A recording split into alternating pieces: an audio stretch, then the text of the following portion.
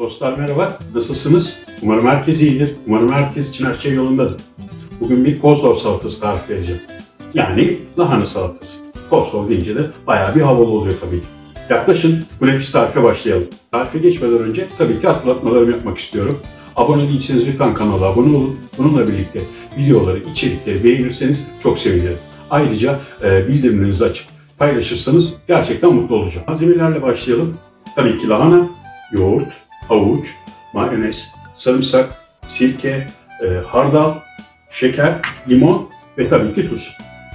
Dostlar e, yaklaşık bir 300 gram civarında lahana var. Bunu ince ince doğrayarak işe başlıyorum. Bakın önemli olan ince ince doğramanız. Acele etmeyin ama yavaş yavaş ince ince doğrayın. Ne kadar ince o kadar lezzetli. Şöyle bir göstermek istiyorum ne kadar ince olduğunu göstermek için bir mola verdim. Bakın gayet ince. Acele etmeden yavaş yavaş. Dostlar lahananın şu sert kısmına gelince el oradan uzaklaşın. Yumuşak olan diğer bölümden doğramaya devam edin. Şu an benim yaptığım gibi. Doğradığım lahanaları bir kaseye alıyorum. Havuçları ve diğer malzemeleri hazırlamadan evvel e, lahanayı biraz tuz ekleyip onu tuzla bir ovmanızı önereceğim. Şu an benim yaptığım ve yapacağım gibi. Tuzlu bir ovacağım bunu. Sıra geldi havucumu rendelemeye. Rendenin kalın tarafını kullanıyorum bu işler için. Havucu da transfer ediyorum lahananın yanına. Bir diş sarımsağı da rendeliyorum. Sarımsak opsiyonel yalnız. Benim tercihim bu. Bir diş çok abartmadan belli belirsiz. Bir çay kaşığı şeker. Birazcık sirke, yaklaşık bir kaşık kadar, bir kaşıktan biraz fazla hardal.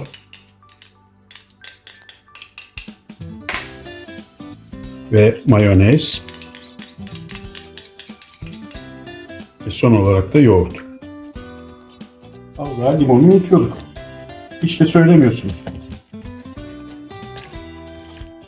Ve limonumuzun suyu. Ve dostlar e, tahmin edebileceğiniz gibi artık işin e, en zor bölümüne geldik. Karıştırmaya. Bunları güzelce karıştıracağız.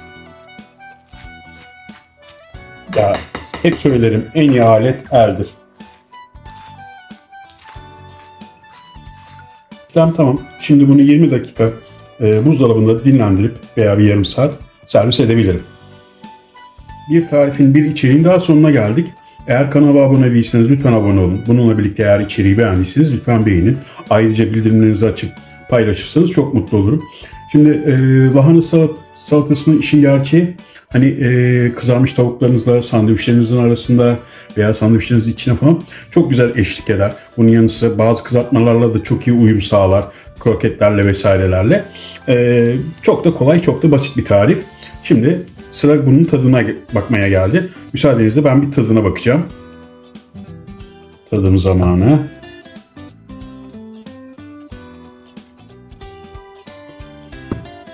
Ya dediğim gibi yaklaşık bir yarım saat falan bekleyince de tatlar birbirleriyle çok güzel özdeşleşmiş. Öne çıkması gereken şeyler iyice öne çıkmış. Yani alttan şeker vuruyor, hardal vuruyor, sirke vuruyor vesaire. Gayet güzel ve gayet de lezzetli olmuş. Ee, dostlar şimdi videoyu sonlandıracağım. Tabii ki sonlandırmadan önce bir dahaki içerikte bir dahaki e, videoda görüşene dek kendinize iyi bakmanızı e, tavsiye ediyorum. Görüşmek üzere, hoşçakalın.